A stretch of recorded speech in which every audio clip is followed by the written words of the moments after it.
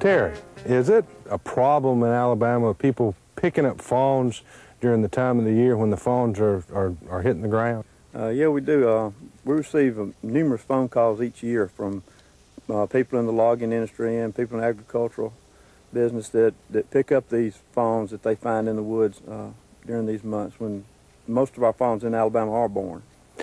Are these fawns really abandoned? A lot of folks think that they're abandoned when they find them out there in the woods by themselves. Uh, most of these fawns are not abandoned. Um, the white-tailed deer does, once they have their fawns for the first week, don't normally stay with their fawns, and their fawns just remain hidden in the bushes during this period, and that's normally when people find them. Oh, what, do the does come back and, and nurse these fawns periodically during Yeah. the day? The does normally come back every three to four hours and, and stand around until their fawns find them in the area that they've left them.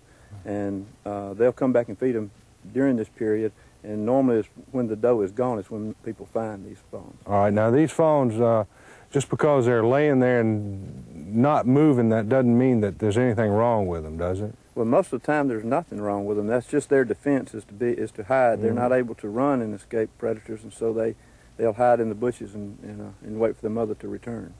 Well, is it a good idea for these people to pick up fawns and then, you know, it's uh, tempting to take them home and try to make pets out of them. They're so cute when they're little. The experience I've had is that white-tailed deer don't make very good pets. The uh, some of the problems that people encounter with these fawns is being able to feed them properly. They can Mhm. uh, develop diarrhea and other uh, intestinal problems from improper feedings. And of course, as they get older, uh, a place to keep them is, is a real problem for people. Uh, being able to protect them from dogs and, and other neighborhood uh, children and, and things like that. And as they get older, uh, of course, as they get grown, they really become a problem, and bucks especially can become problems. Uh, the older they get, the more aggressive they are, and uh, and the tamer they are, they even become more aggressive. What should people do when they find fawns out in the woods? Well, I normally tell people just to leave them where they find them. If they're in immediate danger from some kind of logging uh, practice or agricultural practice, we ask them just to move them maybe to the edge of the field and, uh, and just leave them there that, and their mother will normally return.